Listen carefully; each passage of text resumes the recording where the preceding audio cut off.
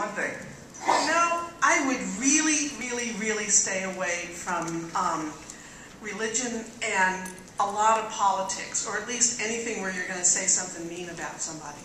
Or, I mean, it just, it, it makes, I think it makes a lot of us a little bit uncomfortable, and you're, you're not really gaining anything from it. Well, you're representing yourself, you're also representing your industry. Yeah. So that's Yeah. a good. How about you, Sean? What's one warning or one thing to watch out for? Uh, well, one tip I would have, and I tell a lot of the, the fortunately, a lot of the newer agents or newer members give me a quick buzz and, and ask for information when they first start with ActiveRain. But um, one of the tips that I always tell everybody is force yourself to comment, comment, comment all the time. Uh, because one, you you get to learn. It means you're reading the blog, hopefully, not just speed commenting.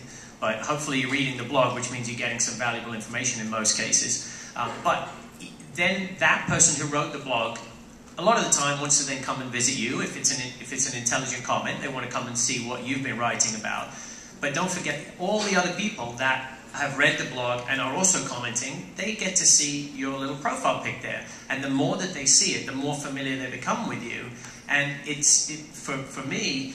The, one of the big benefits was the fact that I, I grew a, a, subscribership very, very relatively quickly.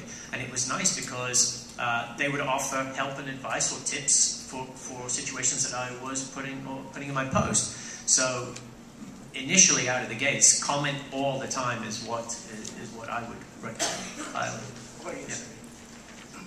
I think one of the big things is to be yourself. Don't try to force your pers- force yourself to write that isn't your personality.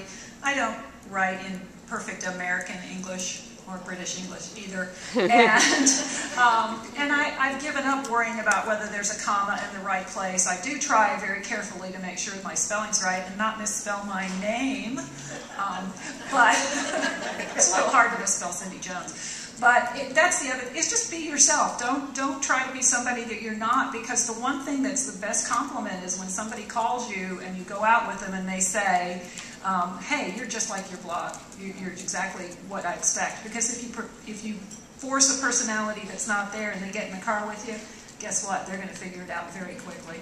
I do one, right? Yeah, go ahead.